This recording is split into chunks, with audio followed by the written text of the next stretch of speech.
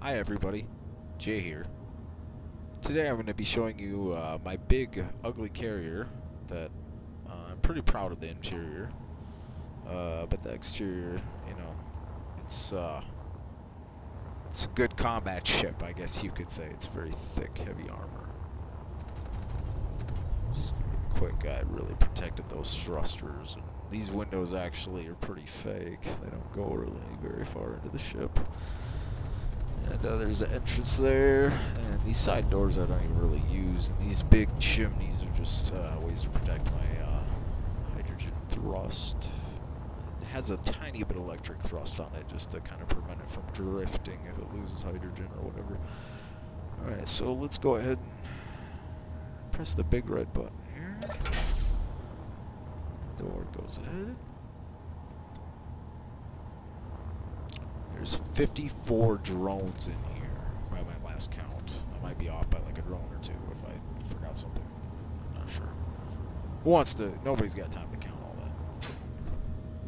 Anyway, so um, I can launch the first 10 and then the rear 44 separately, but we're, we're not gonna do that. We're gonna we're gonna just go. We're just we're just going for.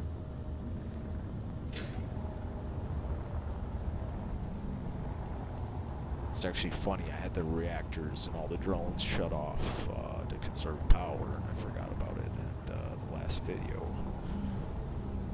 Um, the drones were weren't weren't doing a good job like they are in this video. We had these guys kind of buddy up, but it's you know, I think they're all right. They're not really. See, they're they're sorting out their differences just. Sometimes you get a little bit of that. I kind of these drones need restacked in here, but it took like a whole day, so, you know, I think it's good. Uh, yeah, so that's how many of them there are. Go ahead and count them for me real quick. Time's up. Anyways, let's go ahead and go inside. So yeah, it's completely empty of drones now, you can see. So whatever do you do when you're up to your drones? Well, you come down here, and there's uh, this little button. Opens up this door. I think you see where I'm going with this. This is on this is on creative mode, by the way. Um, in survival mode, it's much slower. Uh, these displays actually work right. Um, these are scripted out to show uh, what resources the projectors need. But yeah, it's it takes quite a while actually to get a drone out of this thing. Uh, let's just go ahead. Stop the printer, manually launch, and then there she goes. And uh, it actually would continue going on its own if I didn't stop it. Anyway, so moving on. Um, we have a refinery over here assembler over here, which is uh, scripted up as well. So this uh, same kind of setup. And let's just go ahead and go this way through the ship. Try to do a good job with the interior turrets in such a big ship like this. So it's just you know you never know what kind of what kind of rats are gonna pop out of the cracks through here. You know.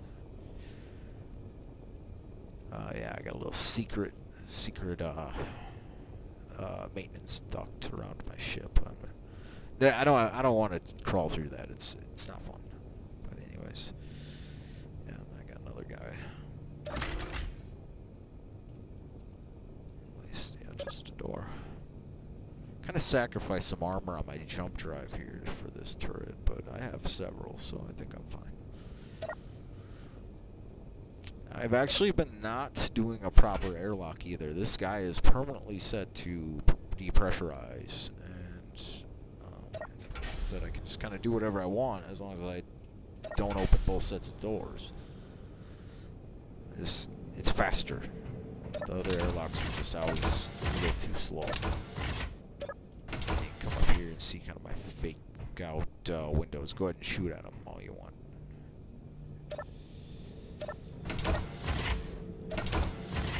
See the bridge is actually level below those windows with heavy armor blocks through the front, and uh, it's it's not interior plates behind that uh, those displays if you're wondering. But yeah, here we here we have the captain seat. A little bit of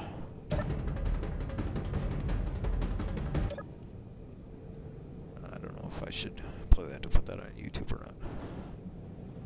Uh, I did do some cryo pods uh, just living quarters through here, medical.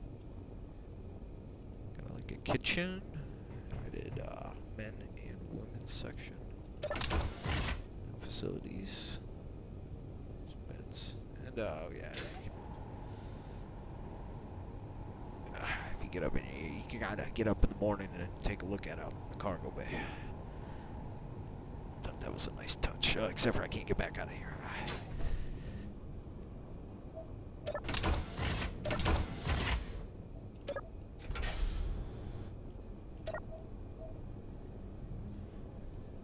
You see, it just depressurizes and we're safe.